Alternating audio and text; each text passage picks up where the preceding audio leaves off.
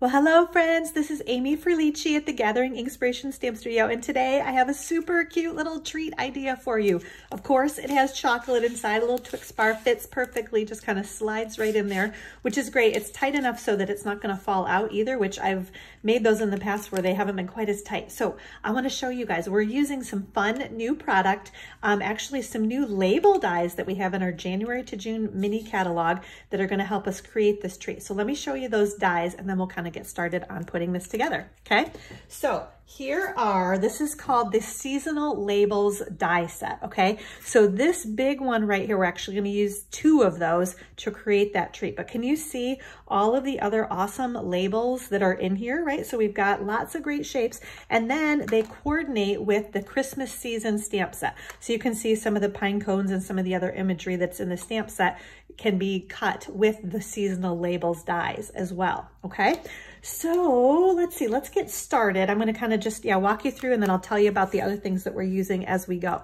These, I will tell you, are available for customers to purchase starting on August 3, I believe. Isn't that crazy? I'm, it's either August 1st or August 3rd. I'll include that in the details to the YouTube video once I get it uploaded too, just so you know for sure. So you can't order them quite yet unless you get the starter kit. If you're interested in getting the Stampin' Up! starter kit, you can order new um, January, excuse me, July to December mini catalog product. You can order that in your starter kit too, so you could get these dies and the Christmas season stamp set um, in your starter kit if you would like. So I'll include all of the item codes and everything that you need to make your purchase um, either through the starter kit or in August when you can purchase out of the catalog, okay? So here we go, ladies. So we are gonna start, let's just do our die cutting first. So we're gonna use, this is that biggest label die that I showed you.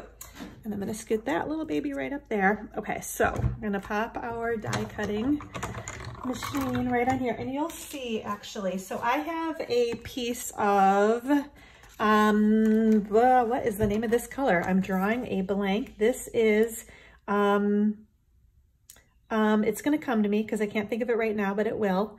Um, okay, I'll come back to that. anyway, this cardstock is three and a half by eight and a half inches. Um, and I think that was just kind of a handy way to cut things. And you're going to need two of these label dies. Soft sea foam, I knew it was gonna come to me. I was like, okay, don't panic. All right, so I already cut one label out, but I wanted to show you instead of like doing two of them while we're on the video, I just wanted to show you. So you kind of line this up and I want the bottom, um, like I don't need this piece right here. I wanna have a straight edge, so I line it up just across the bottom there. And then we're gonna do another die cut on this one. Okay, so we're just cranking our handles. It's a little bit wiggly and crackly there too, right? Okay, so then we have both of our little label pieces. You got a little extra cardstock, you can save that for something else. Then with the same label die, I have, this is a basically a two inch wide strip of the Pansy Petals Designer Series paper. And I am gonna just lay that right on there. And two inches was about the height that worked perfectly on um, that little treat idea. So that's why I went with that. So just kind of lay that on there. It's okay if it's not perfect. People aren't gonna look at the bottom of the treat to see if it's lined up exactly. But just kind of go ahead and crank that through there as well. The only other thing we're gonna do, let's go ahead and die cut our little um, pink leafy thingies while we're doing our die cutting. Okay, so I used an oldie but a goodie, the sunflower dies, because I have always loved those little babies right there. So we are gonna use actually this one right here is what I'm gonna use to die cut. The little frond thingies, these little babies right here, and I'll show you how I do that in just a sec. So let's, we're gonna just cut one of these, and this is Magenta Madness cardstock. So last year's, one of last year's ink colors. Okay, so crank that through there, and I think, oops, I picked up everything but the um, what I actually needed trying to just be speedy and get that out of the way. Okay, there we go. So that's all we need for that. All right, so to actually put your treat together. So this is the kind of important part, honestly, is I want to, I want it to be five and a half inches wide altogether. So I am, and I've got my Seal Plus here because I want to make sure that this sticks really well. So I'm going to line that up straight edge right along there. I want it to be five and a half inches. So I'm gonna kind of lay that on there. I'm trying to get that little guy lined up at five and a half inches and then also make sure it's straight across the bottom, okay? And then we're gonna adhere, Okay, so that's all you have to do for that. Then I'm gonna score it. I'm gonna my, everything all piled up on my scoring plate. That's not what I need.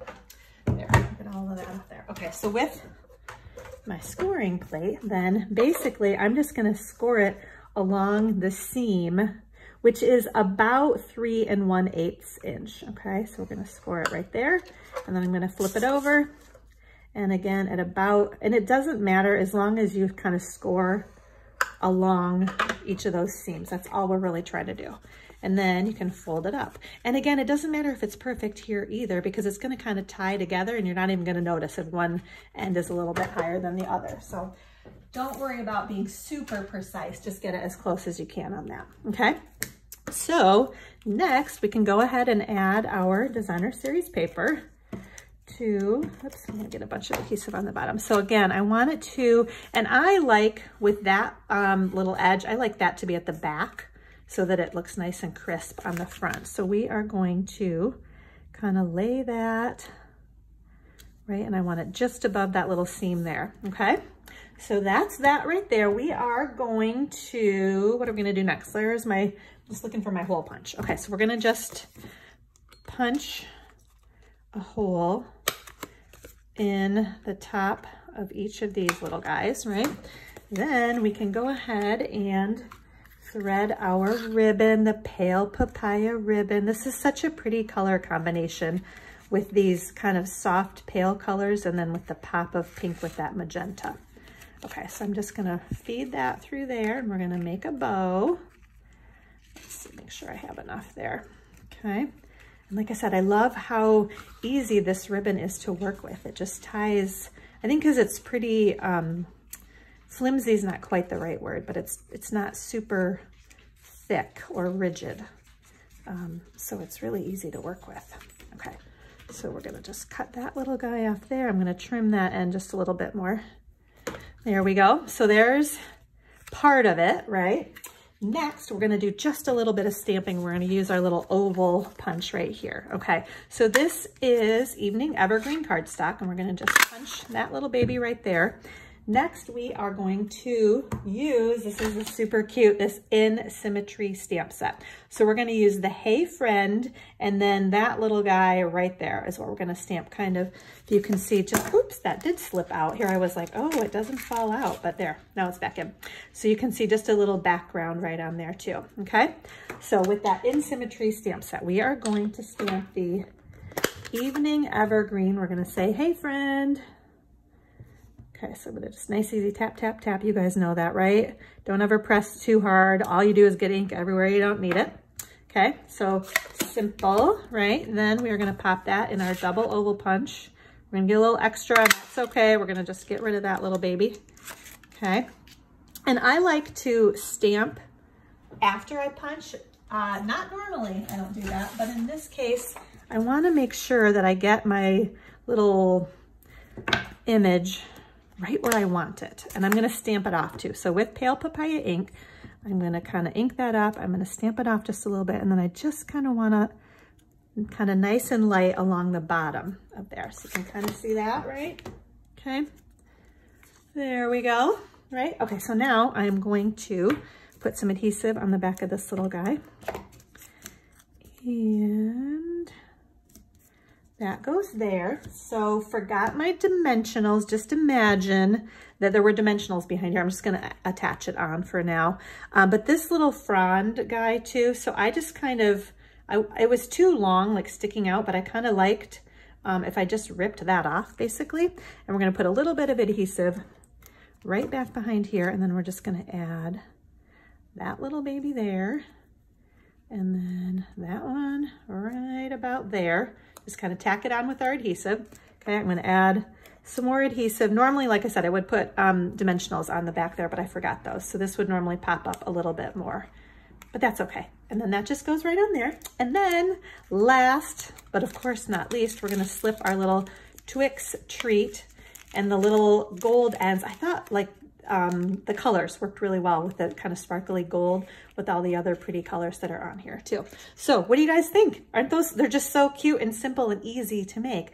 Hey friend, cute little uh, treat with your Twix bar inside. So like I said, I will include everything that you need to know on how to make this um, little treat idea will be um, in the details to the YouTube video, all the product codes, names of everything. Don't forget you can order the seasonal labels dies um, starting in August with the new um, mini catalog that is coming out. So let me know if you have any questions. If you have not already subscribed to my YouTube channel, make sure you hit that subscribe button down there. And thanks so much for watching. Bye, everybody. Have a great day.